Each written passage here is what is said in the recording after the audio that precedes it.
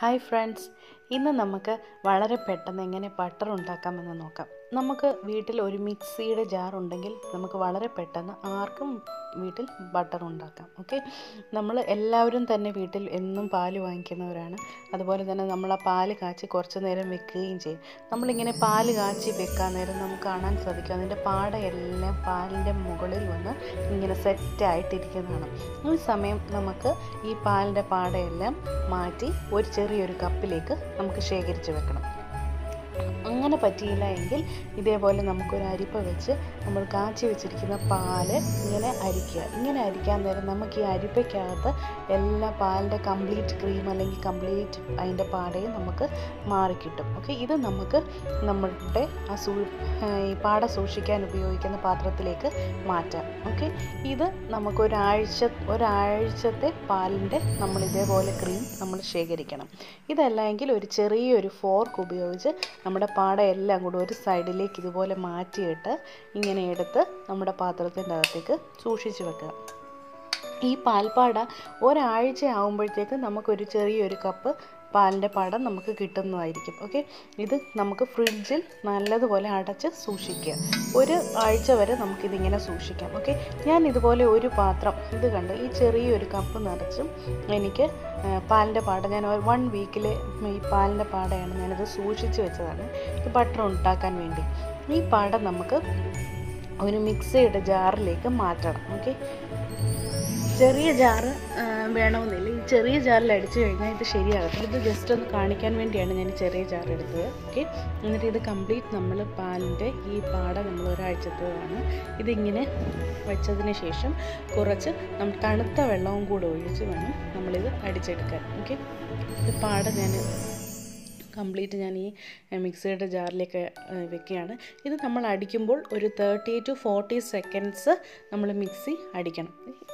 ഇങ്ങനെ കംപ്ലീറ്റ് ഒരു അറ്റേ സ്ട്രെച്ചിൽ തേർട്ടി ടു ഫോർട്ടി സെക്കൻഡ്സ് അടിക്കേണ്ട. ഇൻ ബിറ്റ്വീൻ ഒന്ന് സ്റ്റോപ്പ് ചെയ്തതിന് ശേഷം പിന്നെ അടിക്കുക. അന്നേരം നമ്മുടെ ബട്ടർ പെട്ടെന്ന് ഇങ്ങനെ സെപ്പറേറ്റ് ആയിട്ട് വരാൻ വേണ്ടി അത് സഹായിക്കുന്നതായിരിക്കും. പണ്ടത്തെ കാലത്ത് എന്നൊക്കെ പറഞ്ഞാൽ നമ്മുടെ അമ്മച്ചിമാരൊക്കെ നമ്മളെ കൈയും കൊണ്ടൊരു ഇങ്ങനെ ഉരുട്ടുന്ന ഒരു ഒരു ചെറിയൊരു കപ്പ് പോലത്തെ ഒരു ഇതും വെച്ച് ഇങ്ങനെ കൈയും വെച്ച് ഉരുട്ടി ഉരുട്ടി ആ ഒരു സർക്കുലേറ്ററി മോഷനിലാണ് ഈ ബട്ടർ സ്ലോ മോഷനിലാണ് ഉണ്ടായിക്കൊണ്ടിരിക്കുന്നത്. ഇപ്പം നമുക്ക് ഈ മിക്സിയൊക്കെ ഉള്ളതുകൊണ്ട് വളരെ പെട്ടെന്ന് വളരെ ക്യുക്കായിട്ട് നമുക്ക് ബട്ടർ ഉണ്ടാക്കിയെടുക്കാൻ പറ്റും. ഇത് ഞാൻ വലിയ ജാറിന്റെ അകത്ത് കുറച്ച് വെള്ളം കൂടി ഒഴിച്ച് നല്ലതുപോലെ അടിച്ചെടുത്തതാണ്. കണ്ടോ? ബട്ടർ അതിന്റെ മുകളിൽ നല്ലതുപോലെ സെപ്പറേറ്റ് ആയിട്ട് വന്നിട്ടുണ്ട്. ഈ ബട്ടർ നമുക്ക് എടുക്കാം. ഓക്കെ ഇത് എടുക്കുമ്പോൾ നമ്മൾ നല്ലതുപോലെ നമ്മൾ നമ്മുടെ കൈ കൊണ്ട് തന്നെ എടുത്ത് അത് നല്ലതുപോലെ അതിന്റെ അകത്ത് വാട്ടർ കണ്ടന്റ് ഒരുപാടുണ്ട്. ഓക്കെ അന്നേരം ഇത് നല്ലതുപോലെ നമ്മൾ പിഴിഞ്ഞ് അതിന്റെ വാട്ടർ കണ്ടന്റ് എല്ലാം നമ്മൾ കളയണം. അതിനുശേഷം നല്ലതുപോലെ പിഴിഞ്ഞതിന് ശേഷം നമുക്കിത് വേറെ ഒരു പാത്രത്തിൽ കുറച്ച് വെള്ളം കൂടെ വെച്ച് ഒന്നുകൂടെ ഒന്ന് വാഷ് ചെയ്ത് ജസ്റ്റ് ഒന്ന് റിൻസ് ചെയ്ത് എടുക്കാം ഓക്കെ നമ്മളിത് അടിക്കുന്ന സ്റ്റേജിൽ അല്ലെങ്കിൽ ഇനിയും ഒരു കുറച്ചൊരു ഉപ്പും കൂടെ ഇട്ട് കൊടുക്കണം. ഉപ്പ് ഇട്ട് കൊടുക്കുന്നത് എന്തിനാണെന്ന് വെച്ചാൽ ഉപ്പ് ഒരു നാച്ചുറൽ പ്രിസർവേറ്റീവ്സ് ആണ്. അതുകൊണ്ട് നമുക്ക് ഈ ബട്ടർ കുറച്ച് നാൾ ഒരു മാസത്തിൽ കൂടുതലൊക്കെ ഇരിക്കണമെന്നുണ്ടെങ്കിൽ ഇത് നമുക്ക് കുറച്ച് ഉപ്പും കൂടെ ഇട്ട് വേണം. ഇനി ഈ സെക്കൻഡ് സ്റ്റേജ് ഞാൻ ഇത് വേറെ പാത്രത്തിൽ വെള്ളം ഒഴിച്ച് വാഷ് ചെയ്തതിന്റെ അകത്തേക്ക് കുറച്ച് ഉപ്പും കൂടി ഇട്ട് വാഷ് ചെയ്ത് മതിയാവും.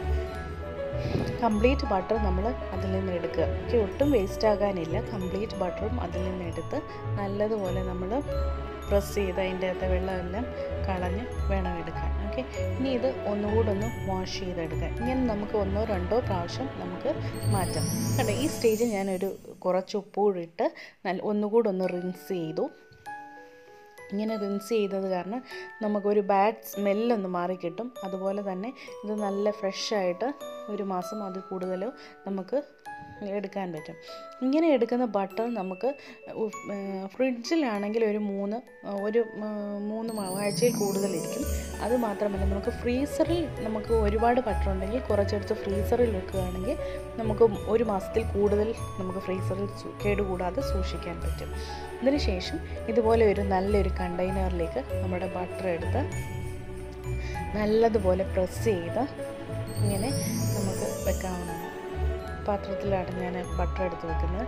ഇത് നാളെ ഉപയോഗിക്കാനാണെന്നുണ്ടെങ്കിൽ നമുക്ക് താഴെ തന്നെ ഫ്രിഡ്ജിന്റെ താഴെ തന്നെ സൂക്ഷിച്ചാൽ മതി. പെട്ടെന്ന് ഉപയോഗിക്കുമെങ്കിൽ താഴെ വെച്ചാൽ മതി. അത് മാത്രമല്ല ഒരു മാസം കഴിഞ്ഞാൽ എടുക്കുന്നെങ്കിൽ ഇത് നമുക്ക് ഫ്രീസറിൽ സൂക്ഷിക്കാം. വളരെ പെട്ടെന്ന് തന്നെ ആർക്കും ഉണ്ടാക്കാം. ഈ സെയിം ബട്ടർ ഇത് ഞാൻ നേരത്തെ എടുത്തു വെച്ച ബട്ടറാണ് ഇത് എപ്പോഴും ഞാൻ ഉപയോഗിച്ചുകൊണ്ടിരിക്കുന്നതാണ്. ഓക്കെ ഇത് ഇത് ഈ ഞാൻ ഹോം മെയ്ഡ് വീട്ടിലുണ്ടാക്കുന്ന ബട്ടർ തന്നെയാണ് ഞാൻ ഈ ബ്രെഡിനകത്ത് സാൻഡ്വിച്ചിനും അതുപോലെ തന്നെ ബട്ടർ ബ്രെഡ് ടോസ്റ്റ് ഉണ്ടാക്കാനും അതുപോലെ തന്നെ നമ്മുടെ കുക്കിങ്ങിനും ഈ ബട്ടർ തന്നെയാണ് ഉപയോഗിക്കുന്നത്. ഇപ്പം നമ്മുടെ വെളിച്ചെണ്ണയും നമ്മൾ വാങ്ങിക്കുന്ന ഓയിൽസ് ഒന്നും നമുക്ക് അത്ര ട്രസ്റ്റ് ചെയ്യാൻ പറ്റാത്തതുകൊണ്ട് ഇങ്ങനെ ഉണ്ടാക്കുന്ന ബട്ടർ കൊണ്ട് നമ്മൾ കുക്കിങ്ങിനും ഉപയോഗിക്കാം. വളരെ ഹെൽത്തി ആയിട്ടുള്ള ഒരു ഓപ്ഷനാണിത്. എല്ലാവരും ഈ ബട്ടർ ഉണ്ടാക്കി നോക്കണം. അതുപോലെ തന്നെ നമ്മുടെ ചാനൽ സബ്സ്ക്രൈബ് ചെയ്യാൻ മറക്കരുത്. വളരെ ഈസി ആയിട്ട് എല്ലാവരും ബട്ടർ ഉണ്ടാക്കണം. എന്നിട്ട് കമന്റ് എന്നോട് പറയണം. Okay thank you for watching thank you bye see you in next video bye